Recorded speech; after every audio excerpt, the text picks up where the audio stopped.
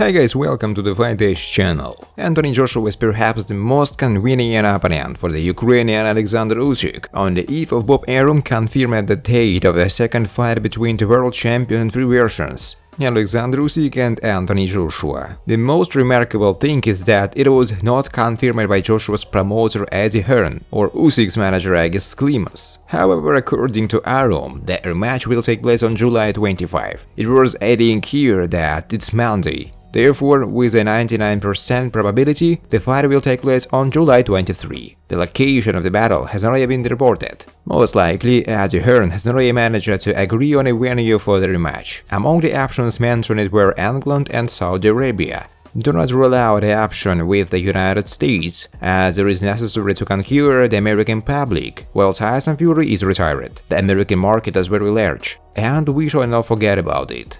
At this stage, after all the shocks, Joshua is the most convenient and understandable opponent for the Ukrainian. A prison can experiment as much as he likes with his physical form, but globally it will not change anything. Anthony is already 33-year-old, he has been in boxing for more than 10 years. He is a fully formed fighter with his advantages and disadvantages. Therefore, Joshua is incapable of a radical transformation into a conditional Fury. The fighting arsenal has been developing since the childhood. And if this moment is missed, then you will not have time to catch up. In this case of Andy Ruiz, Anthony drew up and changed tactics so that he had enough stamina to keep the dominant Mexican at arm's length. There was no talk of technical innovations. With Usyk this will not work. This is the main reason why he will remain a wooden fighter, whose only trump card is cannon blows. The task of the Usyk for the camp is to gain the former fighting conditions and put his mental state in order. In this context, the second point looks more time-consuming.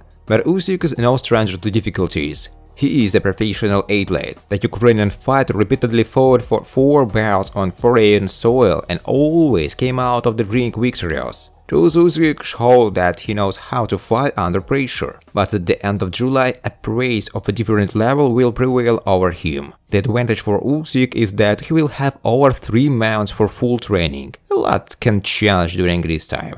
The Ukrainian has everything to repeat the success. He doesn't need to reinvent the wheel when he already has one worker on hand. The main thing is to control yourself and this will be enough to confirm the title of world champion once again. Friends, before starting to watch this video, I would like to ask you to subscribe to my channel. If you really enjoy the content, then please subscribe to my channel and keep watching the videos. If you are subscribed, then receive notifications about the release of new videos. You do not even have to look for anything personally. I really want to get 10,000 subscribers on my channel. I'm trying very hard absolutely every day and I need your support. Thanks for subscribes. WBC heavyweight champion Tyson Fury said that his compatriot Anthony Joshua must first defeat WBA, IBF and WBO heavyweight champion Alexander Usyk in a rematch before demanding a fight with him. Now I am smiling.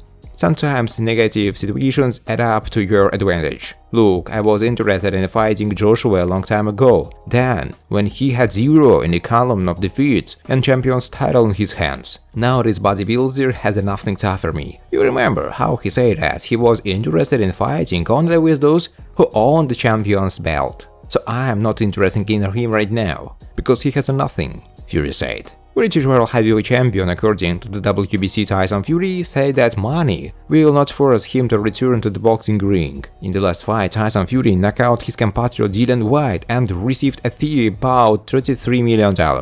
After that, the 33-year-old athlete confirmed that his intention to end his career. Tyson Fury, who was named after the legendary American boxer Mike Tyson, noted that he is the second heavyweight boxer in history who goes undefeated. The first was the Italian-born American boxer Rocky Marciano, who ended his career in the 1915s. Thanks for watching guys, if you like this video please subscribe to my channel.